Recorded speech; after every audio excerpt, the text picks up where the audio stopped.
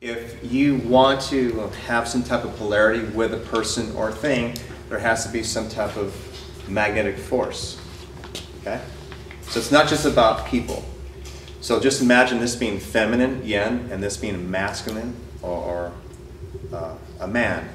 And then having that spark of energy that creates that sexual attraction, that excitement, that passion. But this can also happen when you're doing something that you really like, that you start feeling energized in your body.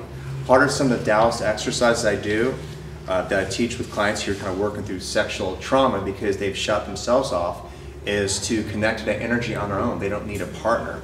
So they can feel alive again and feel that movement because their channels are blocked off from that trauma that they had in their body.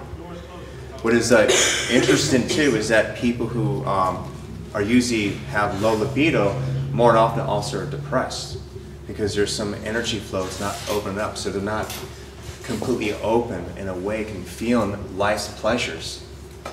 Okay? And I, don't quote me on that. I mean, I don't want someone to walk up to me, you know what? I masturbate and I'm still depressed. that might be a whole other story. I just, just give me an example, okay? so, so,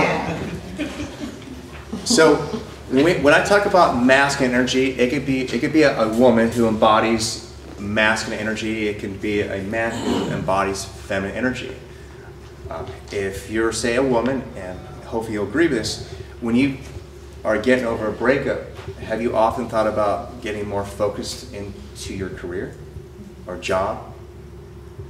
Because what ends up happening is because you become so emotional, more in your yin, feminine, that it doesn't make you feel grounded and it, you feel maybe out of control. So by maybe um, getting more involved with your career, which is more directional, more masculine, it directs your mind and it puts your intention on something so you don't feel that. Okay? And then for a person, just say if they're like really stressed out, they're kind of in more directional mode, they're really masculine, they might turn on music when they get home, they might play the guitar to kind of get more in yin to relax. So they're not so much in their head. Okay? And I know some people think that I had someone at a a men's workshop talked about this, and he was asking if it was um, something that was more cultural. But I, I, feel it's something that's more innate in us vibrationally. Uh, for example, um, men here, if you're in front of a, another, if you're in front of a woman, you just met her, and she were to tell you, she told, she would, were to share nothing but her work. You know, I got this project going on. I'm working on this. I'm closing this deal. I feel really good about this. How would that make you feel? Would it make you feel excited? I, I mean, that's a big no there, obviously. and, and what I'm saying is, I mean, these are generalizations. Doesn't mean that you can't talk about your dreams and aspirations, but vibrationally, with I, I, I don't want to fake a woman's voice here, but um, now for a woman saying, you know, I feel this, and you know, talking about you being softer, being more loving, receptive, how would that make you feel? Okay?